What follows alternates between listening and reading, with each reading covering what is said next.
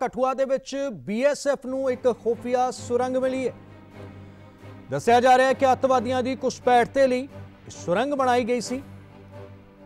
Hiranagar sector ਦੇ ਪੰਸਪ ਇਲਾਕੇ ਦੇ ਵਿੱਚੋਂ ਹੈ ਇਹ ਸੁਰੰਗ ਬਣਾਈ ਗਈ ਸੀ ਤੇ ਕੁਝ ਦਿਨ ਪਹਿਲਾਂ ਵੀ ਬੀਐਸਐਫ ਨੂੰ ਅਜਿਹੀ ਹੀ ਖੁਫੀਆ ਸੁਰੰਗ ਜੋ ਹੈ ਉਹ ਮਿਲੀ ਸੀ ਤੁਹਾਨੂੰ ਦੱਸ ਦਈਏ ਕਿ ਪਾਕਿਸਤਾਨ ਦੇ ਨਾਲ ਲੱਗਦੇ ਬਾਰਡਰ ਨੇੜੇ ਬੀਐਸਐਫ ਦੇ ਵੱਲੋਂ ਦੀ ਇਹ ਐਂਟੀ ਟਨਲ ਅਭਿਆਨ ਜੋ ਹੈ ਉਹ ਚਲਾਇਆ ਗਿਆ ਦੱਸਿਆ ਜਾ ਰਿਹਾ ਕਿ 10 ਦਿਨਾਂ ਦੇ ਵਿੱਚ ਦੂਜੀ ਅਜਿਹੀ ਸੁਰੰਗ ਹੈ ਇਸ ਦਾ ਪਰਦਾਫਾਸ਼ ਹੋਇਆ ਹੈ ਅੱਤਵਾਦੀਆਂ ਦੀ ਘੁਸਪੈਠ ਕਰਵਾਉਣ ਦੇ ਲਈ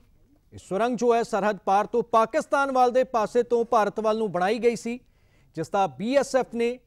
ਪਰਦਾਫਾਸ਼ ਕੀਤਾ ਹੈ।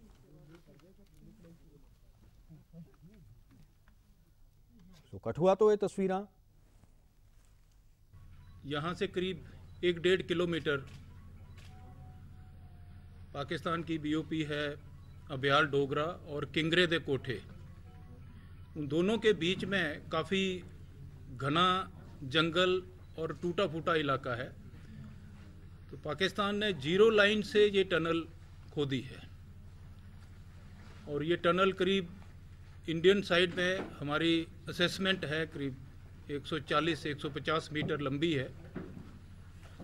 एंट्री पॉइंट से ये टनल 10-12 फीट नीचे जाते हुए फिर करीब 25 से 30 फुट गहराई में होते हुए फिर इंडियन साइड में एग्जिट करती है। तो इसका जो डाया है, ये करीब दो से तीन फुट का डाया है, जिसमें से आदमी आराम से क्रॉलिंग करते हुए या थोड़ा बैठ के